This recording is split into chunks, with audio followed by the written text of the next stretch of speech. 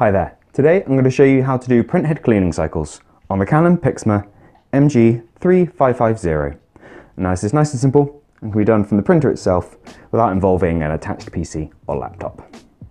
Now cleaning cycles are recommended if you're noticing missing colours on your prints or you've printed a nozzle check test pattern previously which has some inconsistencies on there. If you want to know how to print that page, you can find a separate video on our channel. But to get your printer performing this cleaning cycle, what we're going to do is hold down the stop button, which is this one here, until the alarm lamp, which is the orange LED found next to this symbol, has flashed twice. So here we go. One, two, and release.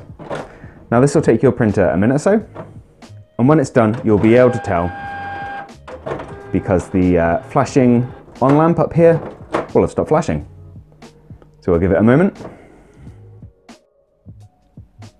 Now these cleaning cycles work by pushing fresh ink through the installed cartridge's print heads in an attempt to dislodge anything that could have dried along those print heads and causing streaks or even missing colours.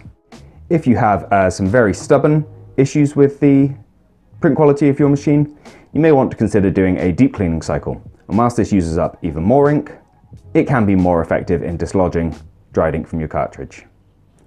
Process is very similar.